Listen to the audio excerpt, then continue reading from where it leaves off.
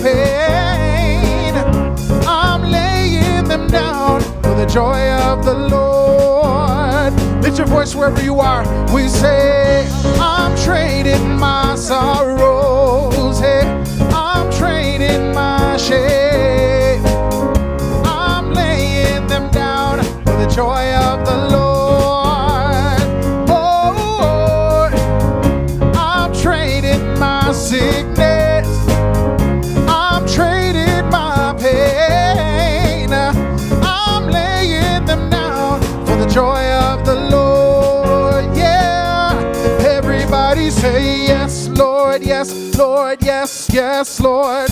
Yes, Lord, yes, Lord, yes, yes, Lord. Yes, Lord, yes, Lord, yes, yes, Lord. Amen. One more time. We say yes, Lord, yes, Lord, yes, yes, Lord. Yes, Lord, yes, Lord, yes, yes, Lord. Yes, Lord, yes, Lord, yes, yes, Lord. Amen. We give you the highest praise. We sing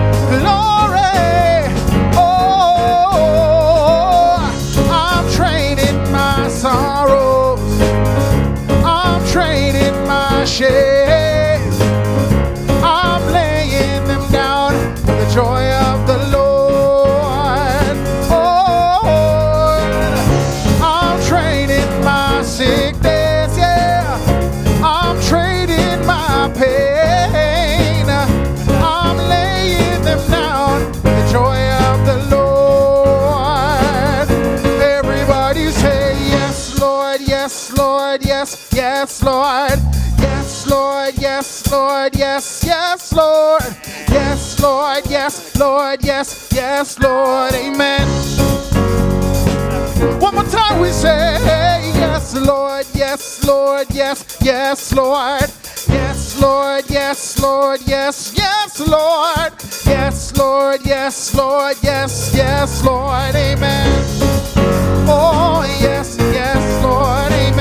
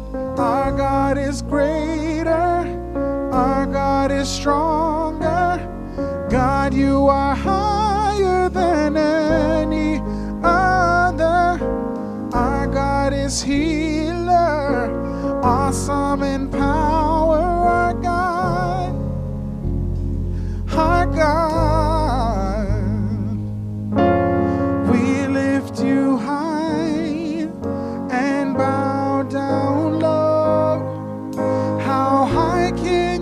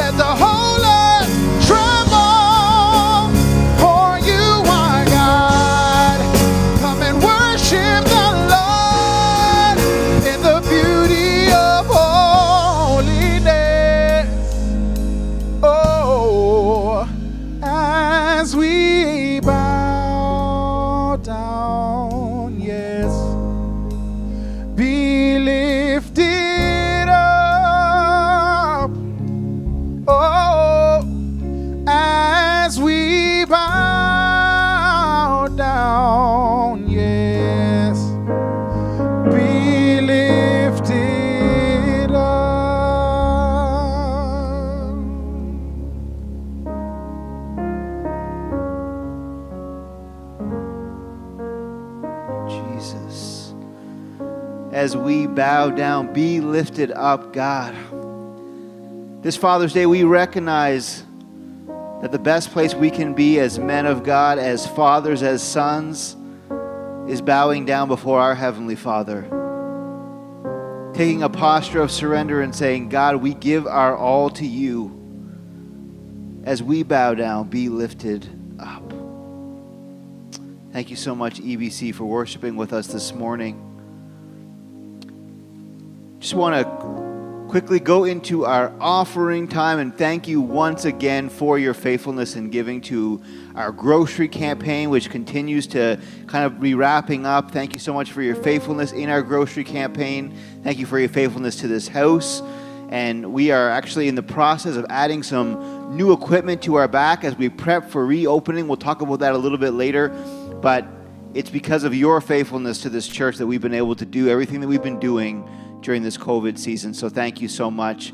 To God be the glory for the things He has done.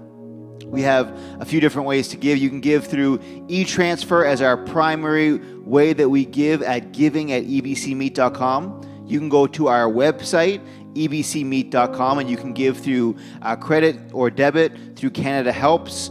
Alternatively, you can pop into the church on Tuesday between 10 and 12, and we will receive your offering with safe drop off. And very soon, when we're back in this house, we have a drop off box in the back as well.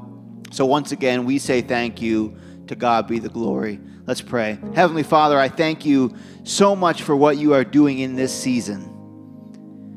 You truly have been a faithful God, a God that has, has taken care of his children. God, thank you for the blessing that you've allowed this house to be to many during this time.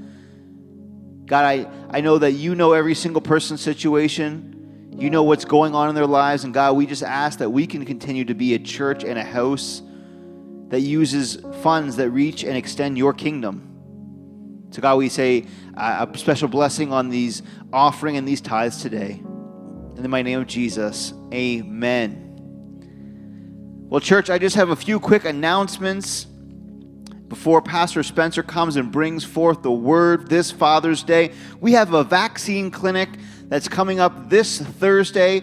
Uh, if you have received your vaccine doses here at the church, you should have received an email or a phone call to book your second dose to come to the church. That's not done through the church, uh, but I just want to let you know that that is coming up.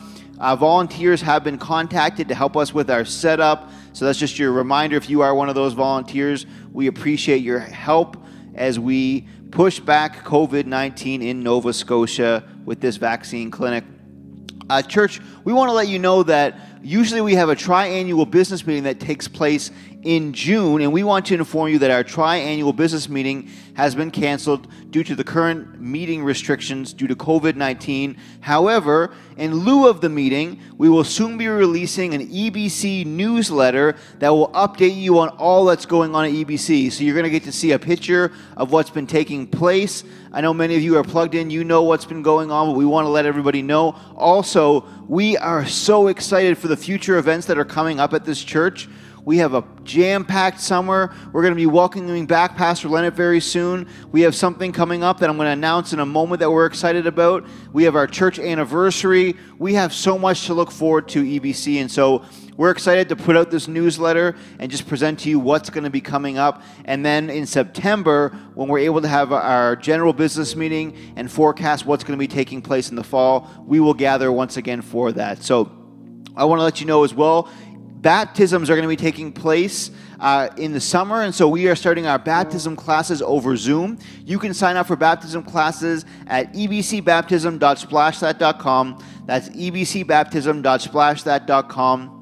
God willing, we're going to launch that on this Tuesday at 7 o'clock. And so if you want to be a part of that, make sure you sign up, uh, and we will make sure that you are a part of that class. And lastly, for this morning, Washed by the Word, Friday, July 23rd, EBC, we are excited to present Washed by the Word Re Engage Mid Year tune up. You remember we had our Recalibrate series and we did a Wash by the Word that Pastor Jeremiah launched us off with our Recalibrate series. Well, we are doing a mid year tune up in our Recalibrate series and throwing back to that with a new theme Re Engage. We will be back in person at that point, and we are excited to welcome evangelist Jesse Holmes to EBC. He is a powerful speaker with the gift of evangelism, and he has a word for us on July 23rd. We will have more to say about reopening and what's coming uh, very soon in the coming weeks, so stay tuned to our EBC News mailout, and we will let you know about what's going to be taking place this summer. But we are just excited. Mark your calendars, July 23rd, re engage with evangelist Jesse Holmes. You're going to want to book your seat for that. We are excited. We are just looking forward to what God's going to do. I will see you again soon. Good morning, church. Happy Father's Day to all the fathers and father figures out there. Be blessed today.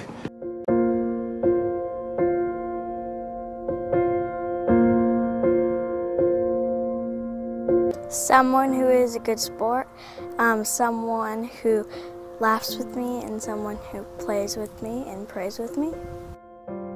I humbly say, because I I'm obviously working on these qualities myself, but I think a dad needs to be a great leader and protector and lover. Needs to protect the family, love the family, and lead the family. And uh, I think that's what makes a great dad. Well, I think it's someone who can set a positive example for the children, children to follow, someone that they can look up to, just being there for them and uh, just letting them know that you love them and that you're supporting them through good times and bad times and helping them develop a personal uh, relationship with Jesus and to know that they have a heavenly father in heaven who loves them. I think being a good dad means being helpful and kind.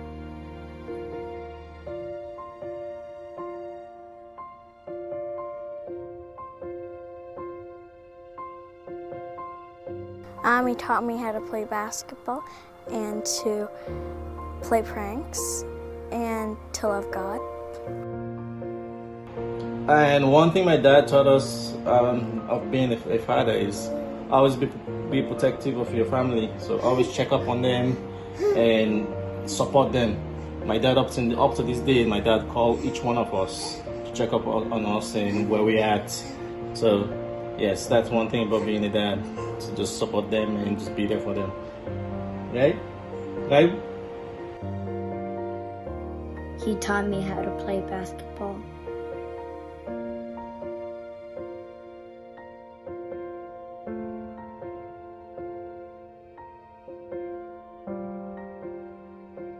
What do I like about being a grandfather? Well, I like everything about being a father, a grandfather, and the great grandfather. And I just love having the kids over. I love spending time with them. I love the way they give me hugs and kisses and cuddles. I love all the fun that we have together. And when they sleep over and next day I'm tired, I can just send them home. Being a dad is, is awesome. I love I love kids, so and God bless us with this handsome fellow. Keep me active every time. Look, look at him. What do I love about being a dad? Well, I can tell you this that kids think their dad is Superman, and that's a good feeling. I'm the strongest man in the world, I'm the smartest man in the world, uh, I'm the best man in the world, the best dad in the world, and I think my kids genuinely believe that. So the faith and the trust and the love and the admiration they have you is probably one of the best feelings.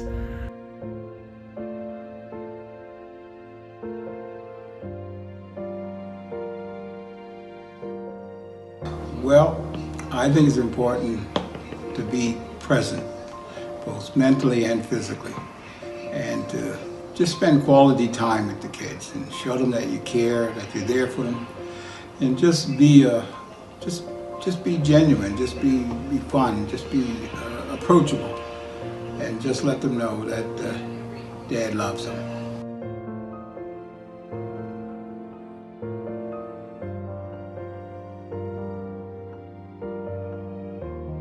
Happy Father's Day, everyone.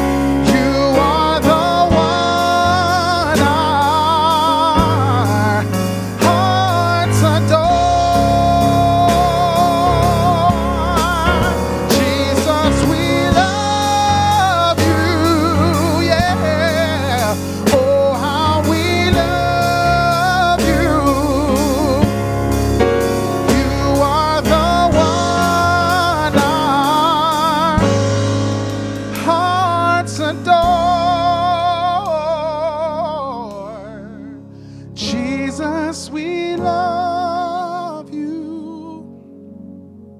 Abba, Father, we love you. For you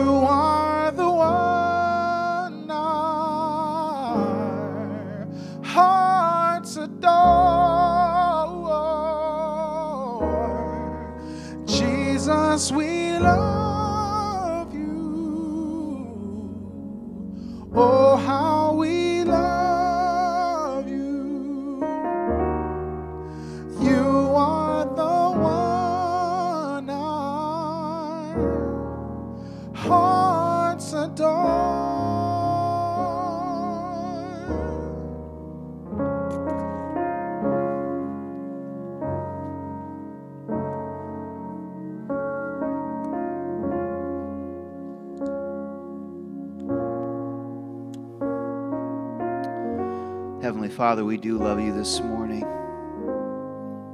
We thank you for all that you have done for us. We thank you for this service.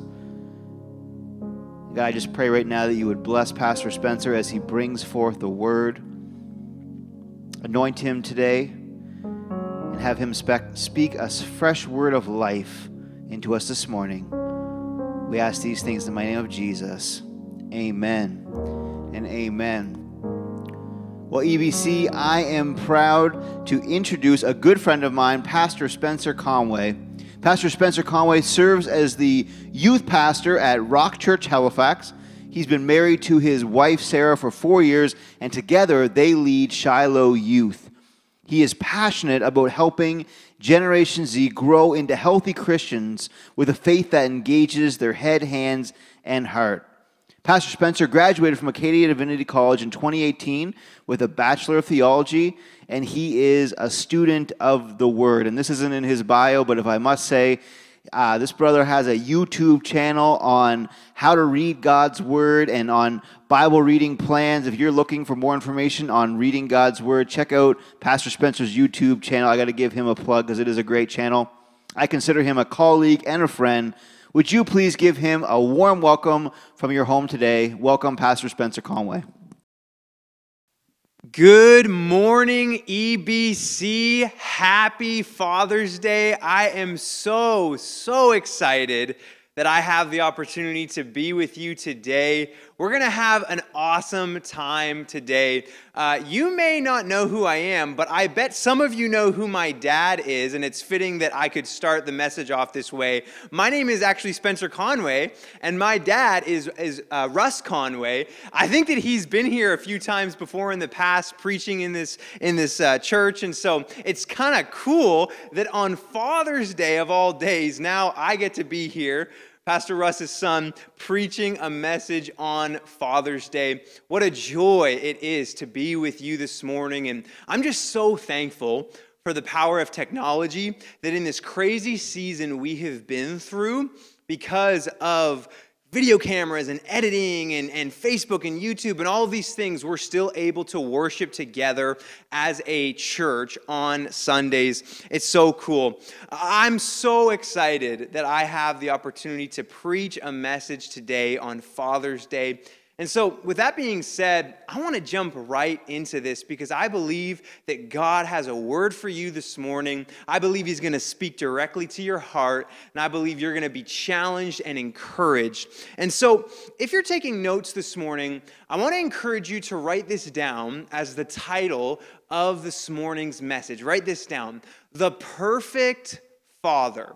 That's what we're talking about this morning. We're talking about the perfect Father on Father's Day. And I want to start off by reading our main text, which is found in Matthew chapter 6, verses 9 to 13. It says this, reading from the New King James Version In this manner, therefore, pray Our Father in heaven, hallowed be your name. Your kingdom come, your will be done on earth as it is in heaven. Give us this day our daily bread and forgive us our debts as we forgive our debtors. And do not lead us into temptation, but deliver us from the evil one. For yours is the kingdom and the power and the glory forever. Amen. Let's pray together. Dear Heavenly Father, I believe, we believe that this Bible is unlike any other book because within it, contains the very Word of God inspired by the Holy Spirit. And I'm praying that in this moment you would enable me, God. you would enable us, God, to understand the words of Jesus that were recorded by Matthew so many years ago. And I pray, God, that beyond just grasping the meaning of these words, I pray that you would help us to learn how to live them out in our day to day lives. I pray that you would change us and transform us more and more into the image of Jesus Christ by the power of the Holy Spirit. I pray this in Jesus' mighty name. Amen. Amen. The perfect Father. This morning we're talking about the perfect Father. You know, recently, my wife and I have been talking about having kids. Now, I asked my wife Sarah to marry me when I was 18, believe it or not. I'm that kind of guy, a little crazy, live life on the edge. We got married 14 months later, only six days after I had turned 20. Our plan when we first got married was to enjoy married life just between the two of us for about five years. And we thought, hey, by the time we're 25, that'll be a good opportunity to start trying to have kids. Now, to put things into perspective uh, in terms of like where we're at in this plan, just last month, I turn 24, and next month in July, Sarah is turning 25. So if you do the math, that means that kids should be right around the corner. Now, this probably would leave both my parents and her parents with an unruly amount of excitement. So if we could leave this as just our little secret, that would be very, very helpful. But you know what? If I'm being honest, this kind of makes me excited as well. Especially when I think about my little niece Sienna, my brother Morgan and his wife Annalie, about two years ago, they had their baby Sienna, and this was my mom and dad's first grandchild. Such an exciting moment in the, the life of our family. And Sienna, I'm telling you, maybe, maybe you've seen pictures of her on Facebook before, maybe not, but she is, she is like the prettiest little girl you've ever laid your eyes on. She's got this spunky personality. She's fearless. She's smart. She, she's got this spirit for adventure. And every time I FaceTime my brother Morgan and I, and I get to see little Sienna, there's something that just rises up within me where I'm just like, man, I have this desire to become a father. I don't really know what it is, but, but there's, there's something about laying your eyes on your own flesh and blood that makes the possibility of fatherhood feel so real. I mean, most times when I look at Sienna, I just think to myself, like, dang, I want one, you know? Like, I'll, I'll nudge Sarah and be like, Sarah, can we have one, please? Can, can we have one, please? Now, as true as it may be that there are times when I feel excited about fatherhood, the truth is, there are many other times where the thought of fatherhood actually leaves me overwhelmed by a different feeling altogether. On those downcast days when I feel inadequate, in those wayward weeks when I feel unworthy, in those sinking seasons when I feel ashamed, it's during those times that I can't imagine being a father. I can't imagine raising a child of my own. It's during those times that I actually feel afraid, afraid of fatherhood. I wonder, have you ever felt that way?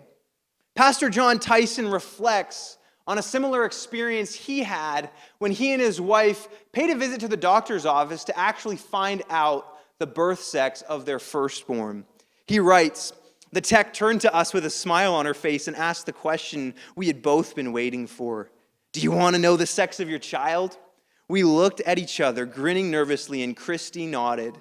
This was a big moment. Yeah, I said, Go on. I could feel the blood rushing in my ears. Okay, the technician said.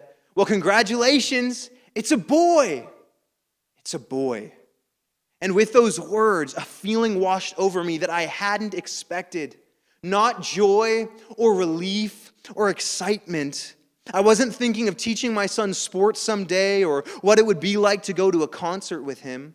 I wasn't looking forward to showing him how to ride a bike or taking him camping. No, the primary thing I felt in that moment was overwhelming anxiety.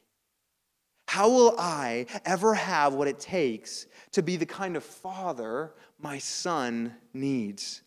How will I teach him all the things he needs to know? How will I not let him down? I think most men can probably relate to this on some level. I mean, some of you dads probably listened to me read that story of Pastor Jon Tyson's experience. Maybe you remember exactly what that felt like. Or maybe you're like me and fatherhood is still far off, but, but the thought of it tends to bring you fear. Or perhaps you've been a father or a grandfather for years, and yet you still struggle to know if you raised your kids up right. If you're like me, you might wonder will I be any good at fatherhood? Or if you're already a father, you might wonder am I any good at fatherhood? Many times we, we get fixated on our failures. We stare at our mistakes. We remember our regrets. And we start to wonder if we're any good at this thing called fatherhood at all. And so what do we do with this, right? Like, like what do we do with this feeling, this experience that many men have? Well, listen, today, I can't talk to you as an expert on fatherhood. I don't have any kids, as we've already discovered. I've never been a dad. Lord knows, I have a lot to learn over the next few years when I eventually do become a father with children of my own.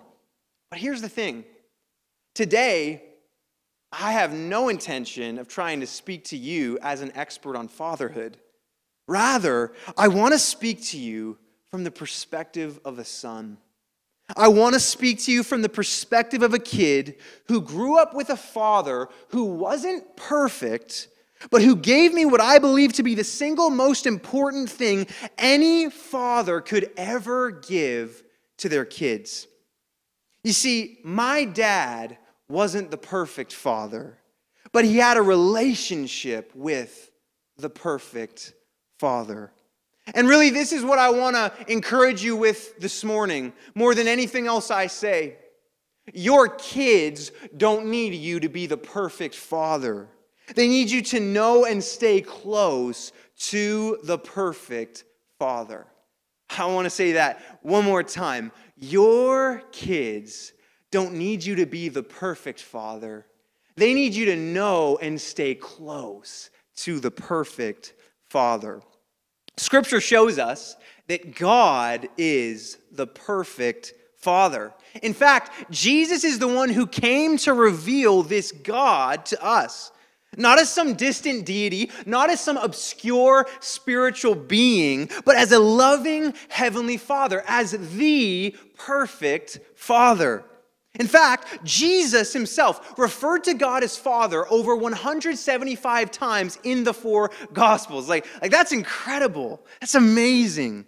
And when we look at the Sermon on the Mount, for example, we read Jesus saying things like this. In Matthew chapter 5, verse 16, he says, Let your light so shine before men that they may see your good works and glorify your Father in heaven. Or in Matthew 6 26, Jesus says, Look at the birds of the air, for they neither sow nor reap nor gather into barns, yet your heavenly Father feeds them. Are you not of more value than they? Or what about Matthew chapter 7, verse 11, where Jesus says, If you then, being evil, know how to give good gifts to your children, how much more will your Father who is in heaven give good things to those who ask him? Or, fitting for this morning's message, Matthew chapter 5, verse 48, where Jesus says, Therefore, you shall be perfect, just as your Father in heaven is perfect. Jesus makes it clear to us that the perfect Father does, in fact, exist. No human has ever reached this feat, and that's because no human ever could. Rather, God is the perfect Father. And in light of this truth, here's the question burning on my heart this morning Since God is the perfect Father, what is He like? What is our perfect Heavenly Father like? And for that question, I want to turn towards our main passage found in Matthew chapter 6, verses 9 to 13. Our main passage this morning contains what has come to be known as the Lord's Prayer. In Luke's gospel, we actually see that Jesus shared this teaching about prayer with his disciples in response to a question that they had for him. They asked Jesus, Lord, teach us to pray. Presumably, they asked this to Jesus because his prayer life was so vibrant and so passionate. There was something about the way that Jesus prayed that was different than anything they had ever seen before, and they wanted to have a prayer life like his. And so, Jesus responds to this question with a prayer many of us know off by heart. And if you know it, I want to encourage you right now. Would you, would you just take a moment and say it with me? Matthew chapter 6, verses 9 to 13, the Lord's Prayer. It goes like this Our Father in heaven, hallowed be your name. Your kingdom come, your will be done on earth as it is in heaven. Give us this day our daily bread and forgive us our debts as we forgive our debtors. And do not lead us into temptation, but deliver us from the evil one. For yours is the kingdom and the power and the glory forever. Amen.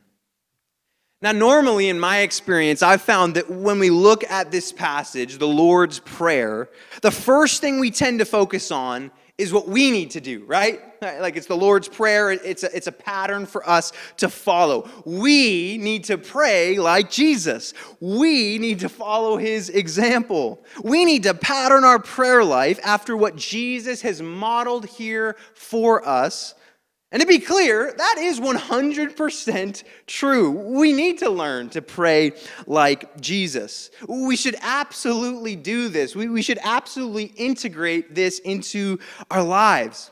I don't know about you, but I definitely want to have a prayer life that's like the prayer life of Jesus.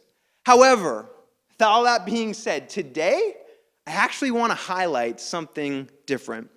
See, because the Lord's Prayer doesn't only teach us how to pray, it also teaches us who God is. I want to say that one more time. The Lord's Prayer, it doesn't just teach us how to pray, it also teaches us who God is. It teaches us what God the Father is like. And so, what does the Lord's Prayer show us about the nature of God? What does it show us about his character, about his attributes? Let's take a closer look together. That first line in the Lord's Prayer goes like this Our Father in heaven. Jesus begins his prayer by addressing God as Father, using a term of intimacy. And so, first, we see that God, the perfect Father, is personal and present. Hallowed be your name. Next, Jesus uses the word hallowed, which speaks to God's holiness. Jesus essentially is telling us that there is nothing, I repeat, nothing bad about God. Here we see that God, the perfect Father, is pure. Your kingdom come, your will be done on earth as it is in heaven. Next, Jesus shows us that God is the king who rules heaven. He's the king of kings. And we see here then that God, the perfect Father, is powerful. Give us this day our daily bread. Jesus includes in his prayer a request for daily provision. This would have evoked memories of Israel's story as God provided manna for the Israelites every day as they journeyed through the wilderness towards the promised land. And here we see that God, the perfect Father, is our provider. Forgive us our debts as we forgive our debtors. Jesus teaches us that we need to confess our sin and ask for forgiveness, which implies something so, so important. God wants to forgive us. God longs to forgive us. This shows us that God, the perfect Father, is one who pardons. Last but not least, we read, do not lead us into temptation, but deliver us from the evil one. We, we see here that God longs to protect us. Though suffering undoubtedly will come, God will have the final word in our story. Here we see that God, the perfect Father, is our protector.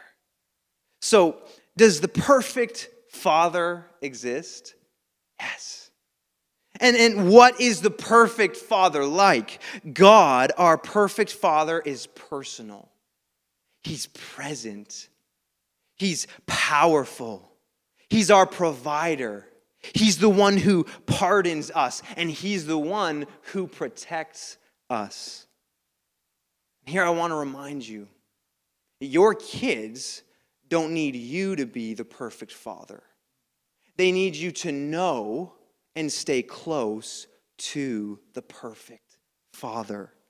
They need, to, they need you to know they need to know, rather, that you know the perfect Father who is personal, who is present, who is powerful, who is our provider, who is the one who pardons, who is the one who protects us.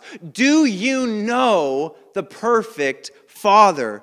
Can your kids see that this relationship is the most important part of your life? There's two things I remember about my dad that helped me know that the most important thing to him was his relationship with God. You want to know something? It wasn't the fact that he preached from a stage every Sunday morning. Maybe I could just start by sharing one example of, of a way in which my dad showed me that the most important thing in his life was his relationship with God the Father. My mom and dad they had their hands full raising four boys. I repeat, four boys. Just let that sink in for a moment. Now, I'm the youngest of the four, and we were all within two years of each other, except for Tristan and Morgan, who were the middle uh, children. They were about the same age. Now, you can probably imagine how crazy that would be raising four boys. Not only that, but my mom actually ran an in home daycare for the first 15 years of her life. So, suffice it to say, our home life growing up was a little chaotic, a little crazy. And you know, like any parent, there were times my dad's temper got the best of him. I'm sure there were times he said some things that he shouldn't have said, you know, even though, to be honest, I don't really remember specifically. But you want to know what I do remember about my dad? even in light of the moments that he may have lost his temper or said things he shouldn't have, this is what I remember. I remember that every time my dad lost his temper with us or made a mistake of some kind, he would always, always come to us afterwards. And he'd sit us down as little boys and he would ask us to forgive him. He'd ask his little children, his four little boys, a full grown man, He'd ask us to forgive him. Man, that is interesting to me. He'd look at us and he'd say, Hey, guys, dad made a mistake. I'm sorry. I love you. Will you please forgive me? And from the time that I was a toddler into my later teenage years, my dad always modeled a Christ like humility that has stuck with me to this day. And I don't know about you, but, but I think that a man who's humble enough to ask his children for forgiveness is a man that has to know and be close to the perfect father. I didn't need my dad to be the perfect father. I needed him to know and stay close to the perfect father. And your kids don't need you to be the perfect father. They need you to know and stay close to the perfect father. You know, as I think about my relationship with my dad, there's so much that comes to my mind. And like I already said, I, am well aware that I didn't have a perfect father. My dad has made as many mistakes as, as any guy has, as any dad has. You know, in human terms, we've already established this. There's no such thing as the perfect father. But even still, I can say with 100% confidence that I have had and continue to have an amazing father who set an amazing example for me in the way that he focused on his relationship with God as the most important aspect of his life. But as I reflect, you know, I can't help but wonder what was it about my dad that made him such a great father? Why is it that even with his imperfections, he left such an impact. What's his secret to fatherhood? He may not put it this way, but I'll tell you what, as somebody who observed him behind closed doors for the first 20 years of my life, I think I know his secret. I want to share it with you. I want to share with you my dad's secret to fatherhood. I think my dad's secret to fatherhood is sonship. I think my dad became a great father because he learned to be God's son. See, because before any of us became the, fa- uh, the father, uh, b- sorry, before any of us became the fathers God calls us to be, there has to be a revelation that through the person and work of Jesus Christ, in his life, death, and resurrection, we've been adopted into God's family as his children. Because of Jesus' death on the cross and his forgiveness for your sin, the way has been made for you to be adopted as God's son. John 1 12 to 13 tells us, But as many as received him, to them he gave the right to become children of God, to those who believe in his name. Paul wrote in Galatians 4, verses 4 to 5, But when the fullness of time had come, God sent forth his son, born of, a, born of a woman, born under the law, to redeem those who were under the law, that we might receive the adoption as sons.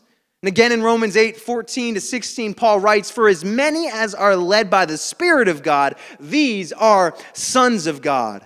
For you did not receive the spirit of bondage again to fear, but you received the spirit of adoption by whom we cry out, Abba, Father. The Spirit Himself bears witness with our spirit that we are children of God. Before you are a father, you need to have a revelation that you are God's son. And I believe that this was my dad's secret to fatherhood it was sonship. So, dads, this is my question for you this morning. Do you see that you are a son? Do you see that you are God's child?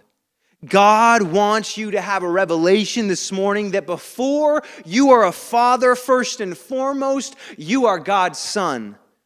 It's in that place, the place of learning to be God's son, knowing and staying close to the perfect father. It's in that place where God will empower you to become the father he desires.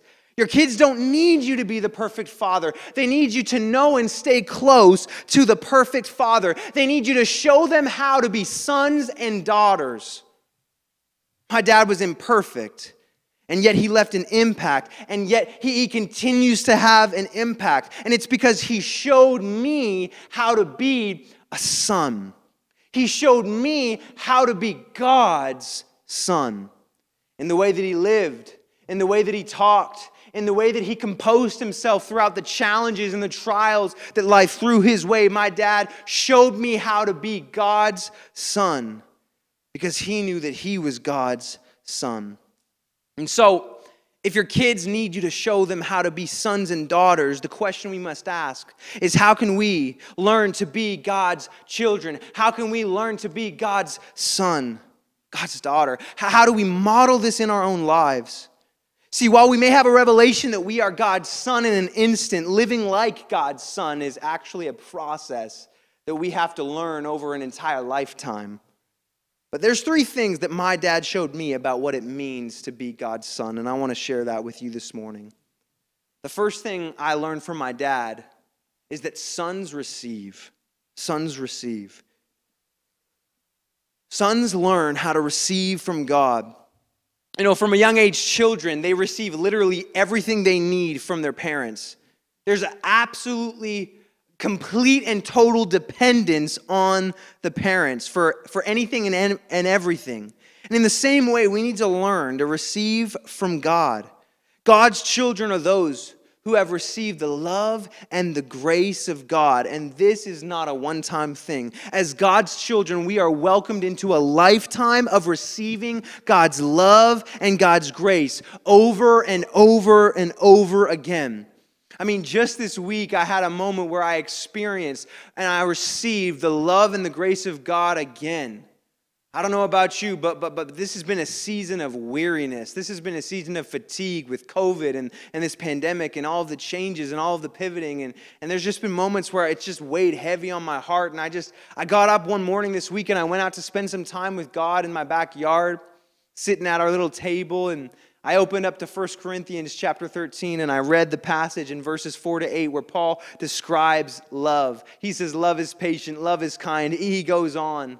And as I'm sitting there and as I'm praying and as I'm, as I'm meditating and contemplating on this passage, I begin to realize that, that ultimately, because God is love, this is in many ways a description of God's character, of God's, of God's care towards me. And, and I started thinking about and reflecting on the fact that, that God is patient towards me, that God is kind towards me, that God has no records of my wrongs, that, that God, uh, He has endured all things throughout my life up until this point. And I just, I just began to weep in this moment as I was reminded of the grace and the love of God for me as I, as I just began to open up my heart and receive His grace and receive His love once again. But many of us learn to relate to God not primarily as sons, but as servants. We received God's love at one point, but somewhere along the way, things switched. And our whole relationship with God becomes about work, work, work, do, do, do, serve, serve, serve. Sometimes you might begin to think of yourself more as a slave than a son. Now, I want to be clear about something. Scripture makes it clear that we're called to serve God, we're called to be servants of God. But we need to make sure we know the proper place of our service. See, because our service can't come before sonship.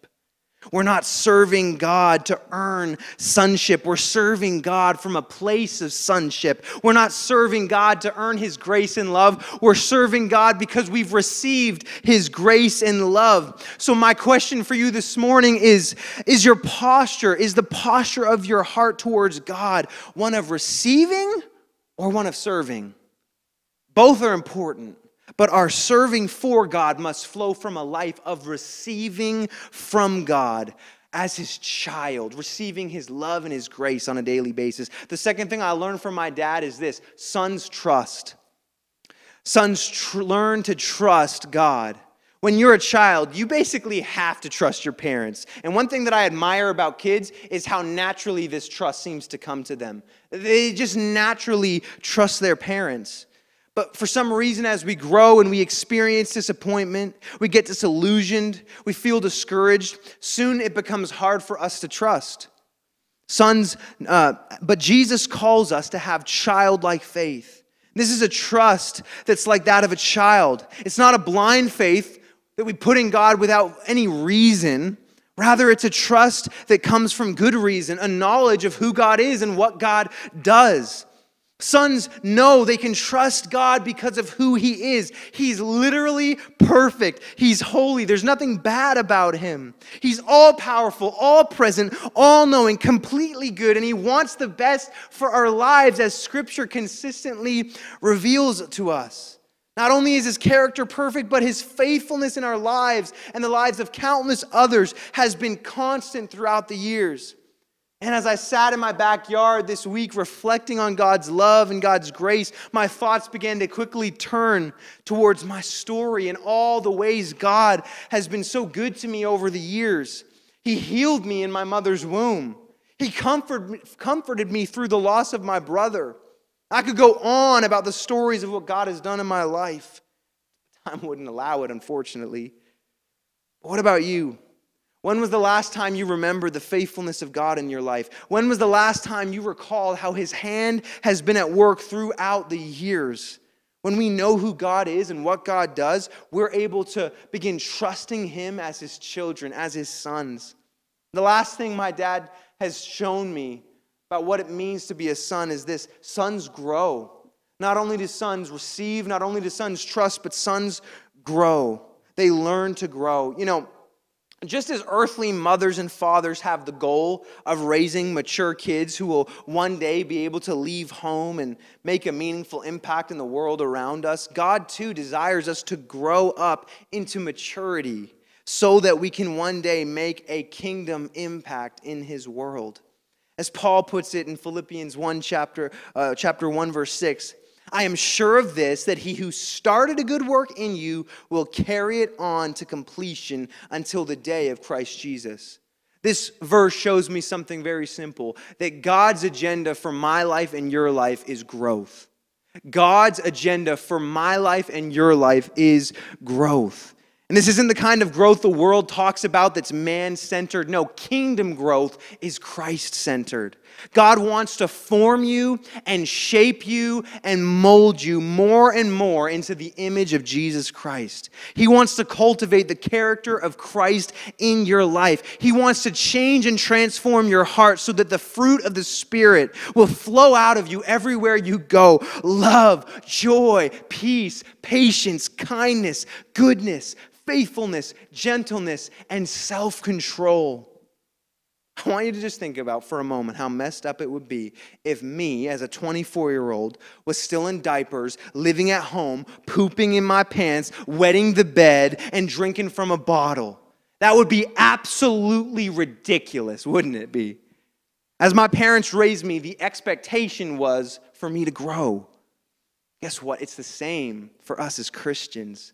When we were born again, adopted into God's family as his very own children, we became spiritual babes. God doesn't want us drinking from bottles for the rest of our lives. He wants us fighting in battles. Amen? He wants us to grow. And so, as God's sons, we must learn to grow. And this is why we need humility and grace. We need to ask God to help us to be humble. Humble people are okay to admit that they're that they have faults and they're okay to ask for help from others and from God in, in overcoming those faults. And this is really what's so amazing about God's grace is, is this reminds us that we don't have to do this by ourselves. God is the one who started the good work in you, and God is the one who is going to carry it on to completion. And yet, so yes, you have a part to play, but God, by His grace, is the one who is leading you. I want to remind you this morning your kid doesn't need you to be the perfect father. They need you to know and stay close to the perfect father. They need you to show them how to be a son and a daughter. Show them that sons are those who trust God, who receive from God, and who grow with God. And As we close, I want to share you one more story about the impact that my father had on my life as he raised me. When I was in my first year of Bible college, I realized that I needed to begin practicing confession. That is to say, the practice of confessing my sin to other people. I knew that God wanted me to grow and that this spiritual discipline had to be a part of that process. I struggled, though, with the thought of sharing some of my deepest and darkest secrets, even with a person who I trusted even with people I knew were safe. But I decided that I needed to start. At the same time, the only person I could imagine myself confessing my sin to was my father. Even so, thoughts began to plague my mind. What will he do? What will he say? What will he think of me? I wouldn't be surprised if my dad was embarrassed of me when he found out these things. He's going to be disappointed in me. He's going to be ashamed of me. But I still remember the moment as I stood in his office, shaking, crying, the words barely able to escape from my mouth. And then, as quickly as the confession left my lips, my dad looked at me with love in his eyes. He looked at me with love and he wrapped his arms around me in a warm embrace. He hugged me tightly and he didn't say anything at first. But soon, after a little bit of silence, four words came out of his mouth I love you, son. I love you, son. This was one of the most transformative moments in my life as my dad literally modeled the love of God the Father for me in real time. I believe his response to me in that moment was an example of God the Father's response to me every time I confess my sin to him. And what is it that prepared my dad to respond to me in this way at that moment? I think it's simple. Somewhere along the way, my dad had a revelation that before he was a father, first and foremost, he was God's son. And as a man who grounded his identity in sonship, as a man who had learned to receive from God the Father, to trust God the Father, to grow with God the Father, when his earthly son was in need of him, he was able to give me the most important thing I needed. A man who wasn't the perfect father, but a man who knew and, and was close to the perfect father. Your kids don't need you to be the perfect father. They need you to know and stay close to the perfect father. They need you to show them how to be sons and daughters. Let's pray together. God, we thank you so much for your word. We thank you that you are the perfect father.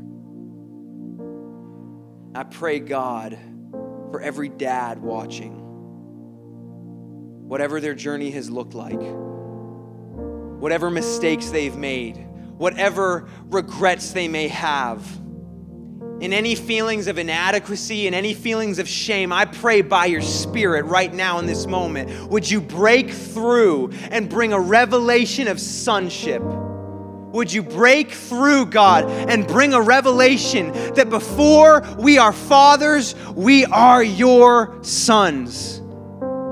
And I pray, God, that this revelation would permeate to the core, would permeate to the depths of our very being, that we would have identities that are rooted and grounded and established in sonship, in the reality that we are your children. And I pray, God, that you would enable the fathers of this house to model sonship for their children, to model sonship for their sons and their daughters. That you would enable the fathers in this house to lead in such a way where their kids can look at them and they can see that even though they may not have perfect fathers, they have dads who know and are close to the perfect father. And that when the going gets tough, they know that they have fathers who are in relationship to the one who will empower them to be the parents you desire them to be. God, I pray for a revelation of sonship.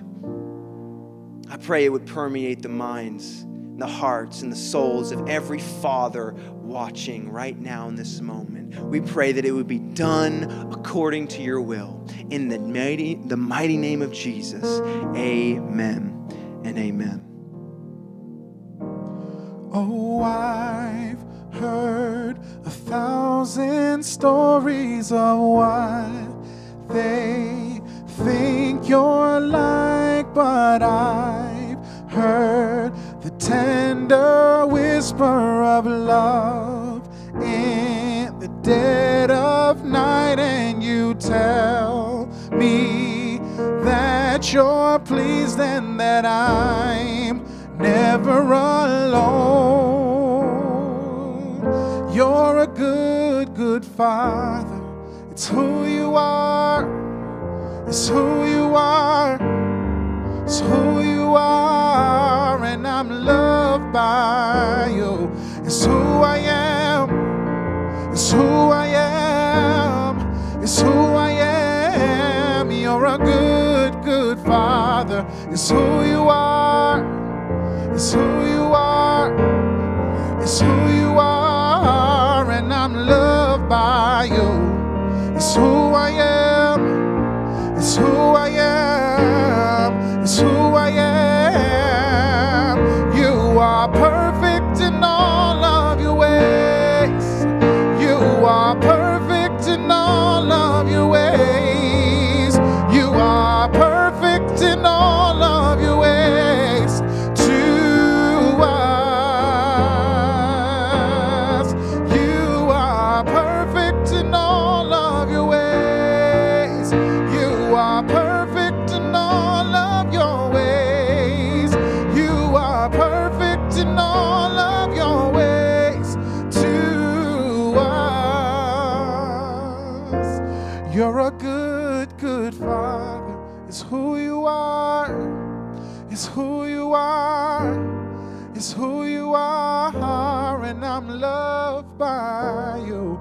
Who I am.